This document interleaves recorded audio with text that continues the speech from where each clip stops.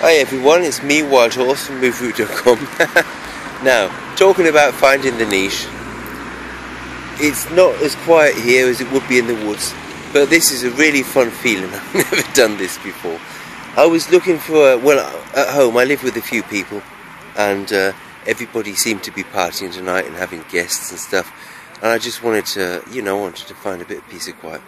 So I went for a walk around the block, and you know, I was walking up our road on the way home,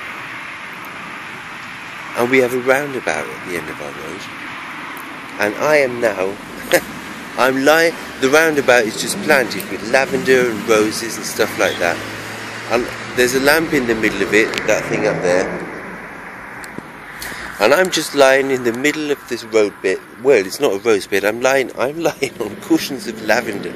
I've got a lavender cushion for my head, and even though there's so much traffic around, this is really funny, and this is really a good feeling because loads of people are going by. Nobody can see me, so somehow no one's irritating my field, and uh, it smells of roses and lavender even though there's so much traffic around.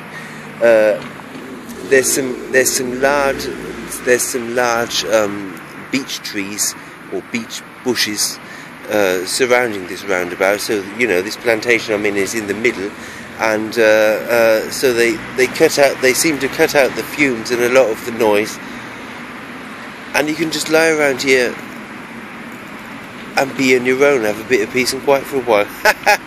That's great, isn't it?